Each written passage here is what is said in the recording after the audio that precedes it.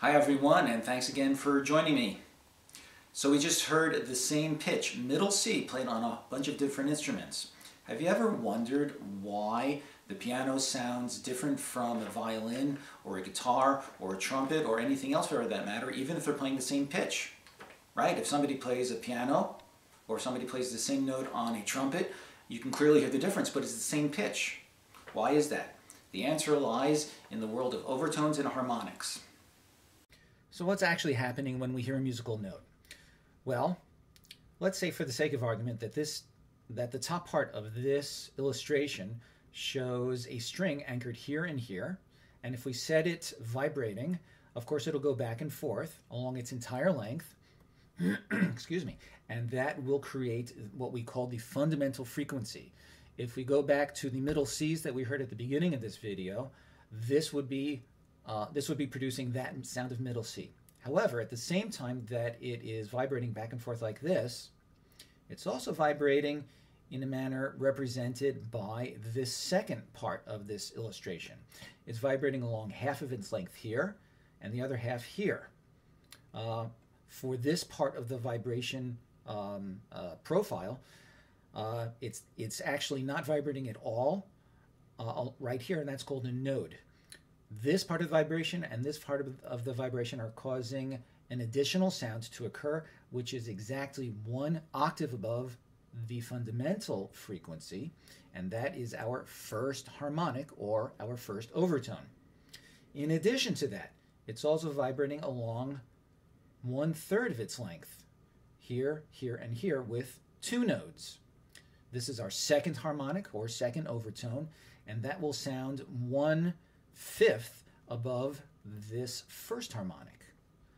And in addition, there is the third harmonic vibrating in a manner represented here, and the next harmonic here, and here, and here, and there are actually a bunch more beyond that as well. So we have our first, second, third, fourth, and so on harmonics or overtones. Here's another way of looking at it. If we sound this note by itself and don't do anything else, at the same time, its first overtone will, will produce this sound, its second overtone will produce this sound, its third overtone will produce this sound, and so on with a whole bunch more. And it even goes beyond this illustration. Okay, the first overtone, as I said before, will be one octave above the fundamental. The second overtone will be a fifth above the first overtone. The next harmonic will be a fourth above the previous overtone, and it goes on from there. The cello happens to be a particularly good instrument to illustrate harmonics. Let's give it a try. What I will do is I'll play a low D natural on this string over here, okay, and the, the first natural harmonic of that low D will be an octave above it, which should correspond to this string here. The second harmonic of that low D will be a fifth above that, which should be the A. So I will play a nice solid low D natural on this string, and I'm pretty sure we'll be able to see this string vibrating as a result, even though I'm not touching it, or at least I won't be touching it when I, when I play the low D. And uh, I hope this video has enough resolution that we'll also be able to see this A natural also vibrating. Let's give it a try.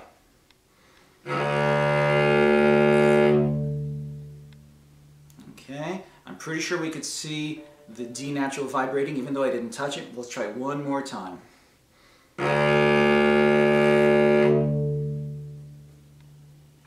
Well, I hope you could see the A also vibrating, but I think that the, the D was clearly visible. So at the very least, we could see the first natural harmonic, and possibly we could also see the second natural harmonic. So you may be wondering, what has all this got to do with our original question of how these different instruments sound different from each other. Well, let's take a look. Let's start with, let's say, a clarinet. Okay, this, gra this graph shows what a clarinet actually sounds like on a particular pitch. I believe this is the A above concert A. Excuse me. So if that is true, this peak right here represents the how loud that fundamental frequency is sounding. Okay? Now, if you look at the next large peak, which is presumably its first overtone, you see that that, that peak is actually a little bit higher. And then the next peak is the next overtone. And you see that it has a, uh, a, a, fairly, a, a, picture that is fairly uh, representative for that instrument. Let's, let's, let's take a look at another instrument now. That was clarinet. How about the piano? Okay, uh, this is middle C. And you see that the general shape and the general pattern of overtones and how loud they are relative to each other is very, very different than that of the clarinet that we just looked at. Let's try another one. How about a violin? Again, very different. You have the, the, you have the fundamental frequency plus a bunch of overtones, and again the pattern of how loud and soft they are relative to each other, very different than the other two. And so it'll go for uh, for all the differences from one instrument to the next.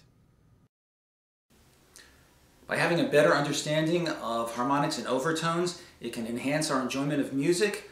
Uh, it can also increase our understanding of how the scale and the Western tonic system evolved. It will also help our understanding of tempered systems, and we'll talk about that some more in a future video.